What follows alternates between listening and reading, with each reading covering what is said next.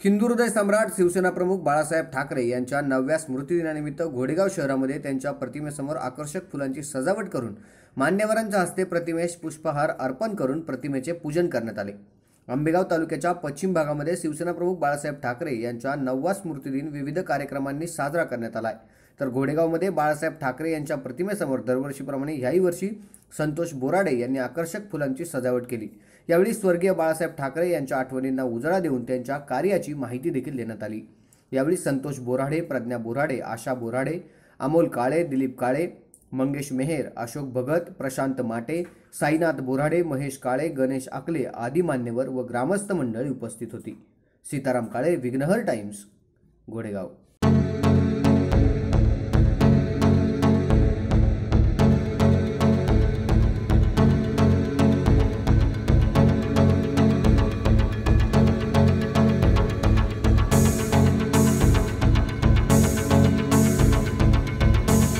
Right.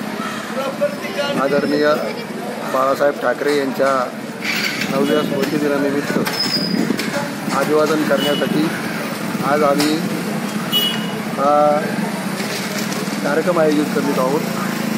त्यानिमित्तानं या कार्यक्रमाच्या यशस्वी करण्यासाठी दिलीप काळे अशोक शेठ पकडाई शेठ काळे अशोक शेठ भगत साईनाथ बोराडे प्रशांत माठे अमोल काळे प्रज्ञाताई बोराडे आणि इतर बऱ्याच बाळासाहेबांवरती प्रेम करणाऱ्या सैनिकांनी कष्ट घेतलेत.